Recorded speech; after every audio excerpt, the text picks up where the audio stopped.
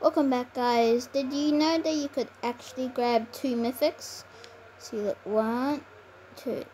So I've got one mythic in my inventory.